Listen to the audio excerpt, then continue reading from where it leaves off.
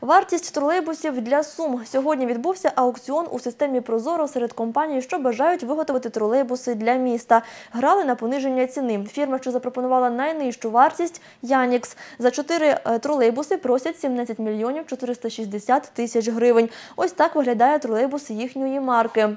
Загалом на торги подавалися шість компаній. Одну – це товариство СТГ «Інженеринг» від участі відхилили.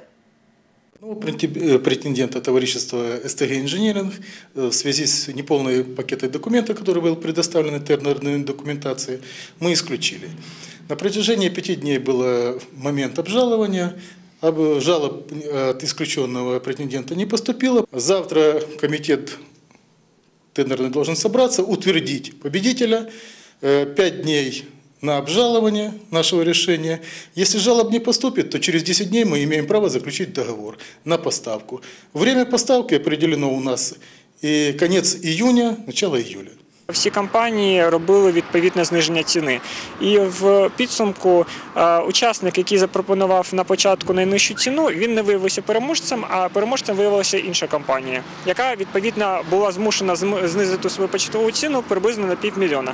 Загалом ми заплатимо за тролейбуси е, приблизно 17,5 мільйонів гривень. І відповідно, е, враховуючи, що виділено спочатку було 20 мільйонів, то 2,5 мільйони місто може спрямувати на інші потреби транспорту. У порівнянні з минулим роком ми отримали зменшення ціни тролейбусу на 700 тисяч, при тому, що комплектація краща.